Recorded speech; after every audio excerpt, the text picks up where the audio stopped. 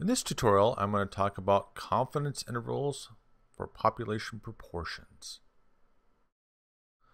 This equation here is one I'll discuss. It can be a little daunting. I'm also going to do an example and put numbers in here. Again, my focus is on this equation, and I discuss this equation in other videos. I'm going to go through each of these variables and discuss what it means as well as I'm going to show you how it relates to the bell curve. Little p with a squiggly line is called a proportion. You can think of it as a percent. This plus and minus, we do two things with it. We do addition, we plus, and we do subtraction. And I'll discuss how you do that in a moment. This is called the confidence coefficient, and I discuss the meaning of this in another video. Multiplication. And then we have the n for the sample size. Again, we have the squiggly line for proportion, the p with a squiggly line. 1 minus the proportion. I'm going to use some numbers and do an example in a moment.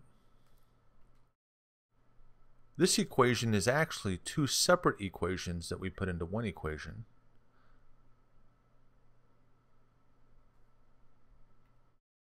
On the left side, we have the proportion minus the margin of error.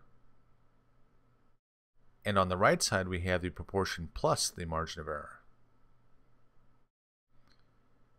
And it can be written as this as well. Proportion minus margin of error, proportion plus margin of error.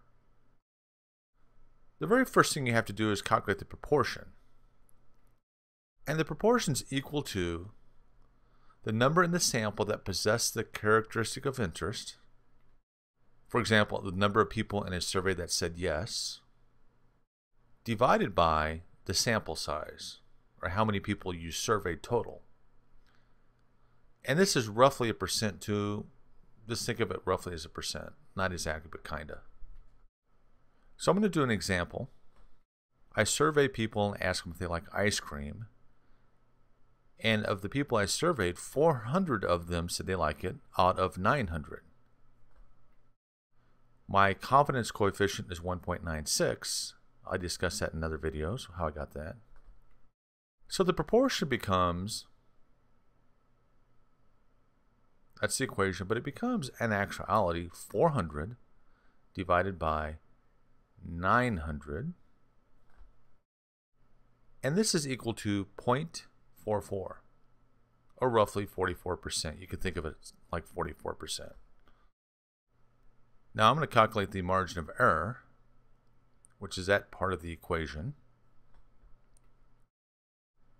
So the margin of error is equal to 1.96 times the square root of 0.44 times 1 minus 0.44 divided by 900, the sample size. This is all equal to 1.96 times the square root of 0.44 times 0.56 divided by 900.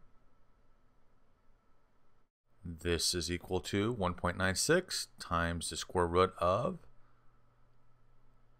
0.2464 divided by 900. I'm doing this one step at a time. This is equal to 1.96 times the square root of 0.00274, which is equal to 0.016559. So the margin of error equals to 0.0324, which is a lot of calculations. Just do them one step at a time. Be fine. This whole equation is called the confidence interval. And it's the proportion, 0.44, and minus the margin of error, which we know now. So the confidence interval is equal to 0.44 plus or minus 0.0324. So the lower bound is 0.44 minus the margin of error 0.024, which is equal to 0.4076. That's the lower bound. The upper bound is 0.44 plus 0.0324, 4, 0.4724 is the upper bound. The margin of error is 0.0324.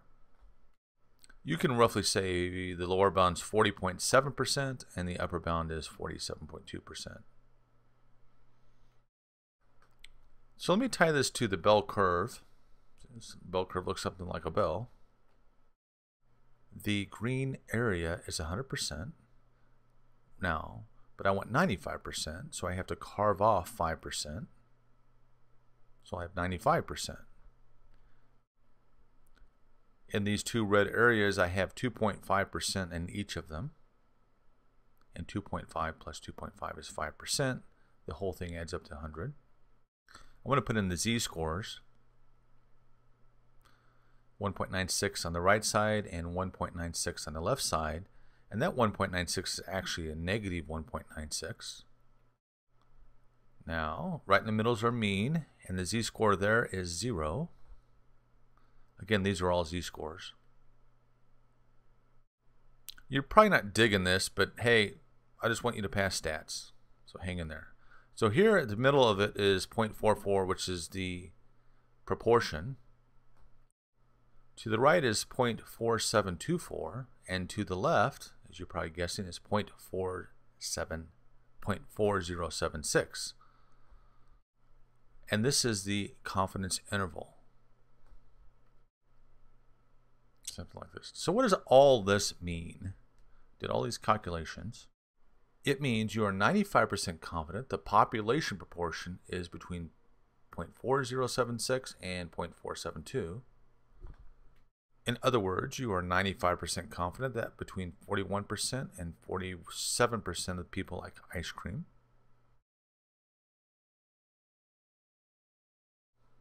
You could also say 44% of people like ice cream, plus or minus about 3%. Not sure I would use the plus sign and minus word. But anyway, nonetheless, I showed you this little equation. I did an example. I showed you how this part of the equation is called the margin of error. And the whole thing is called the confidence interval. I went through each of these variables one by one, went through the proportion, the plus and minus sign, the confidence coefficient, and I hope that you understand this equation a bit better than you did before.